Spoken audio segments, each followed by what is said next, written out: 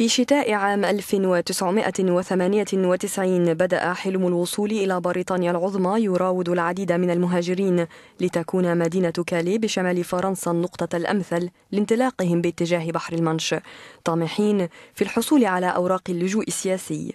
في عام 1999 دشنت فرنسا بالتعاون مع الصليب الأحمر مخيما ضخما تحت مسمى سنجات نسبة إلى مدينة سنجات بعد مرور ثلاث سنوات وبالتحديد في عام 2002 قرر وزير الداخلية الفرنسي آنذاك نيكولا ساركوزي تحت ضغوط من نظيرها البريطاني إغلاق مخيم سنجات إذ قال ساركوزي لقد أشرت مرة عديدة أنه بمجرد انتهاء الإجراءات التشريعية سيتوجب علينا إغلاق مخيم سنجات في فترة مدتها ثلاثة إلى ستة أشهر.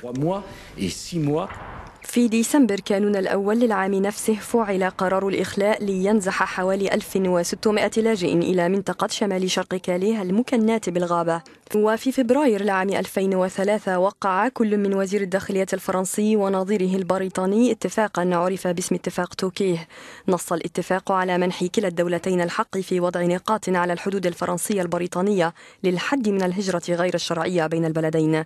بعد قرار إغلاق مخيم سنجات ونزوح المهاجرين غير الشرعيين إلى مخيم كاليه صدر قرار جديد بتفكيك مخيم كاليه على أيدي شرطة مكافحة الشغب وذلك في تاريخ الثالث والعشرين من سبتمبر لعام 2009 الجزء الجنوبي لمخيم كالي الشهير بغابة كالي والذي يحتضن ما بين 6400 إلى 8000 لاجئ تم تفكيكه في فترة ما بين التاسع والعشرين من فبراير وحتى السادس عشر من مارس للعام الجاري. وبهدف منع اللاجئين من التدفق بين البلدين وبتمويل بريطاني قرر بناء جدار بطول كيلومتر واحد على الحدود البريطانية الفرنسية. وبشأن التفكيك الكامل للمخيم وإعادة توطين المهاجرين صرح الرئيس الفرنسي فرانسوا هولاند.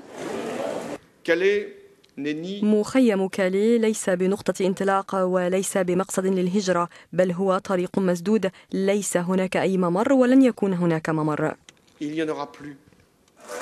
المهاجرون الموجودون حاليا في مخيم كالي سيتم توزيعهم على مراكز الاستقبال والتوجيه في أكثر من مكان من المدن الفرنسية.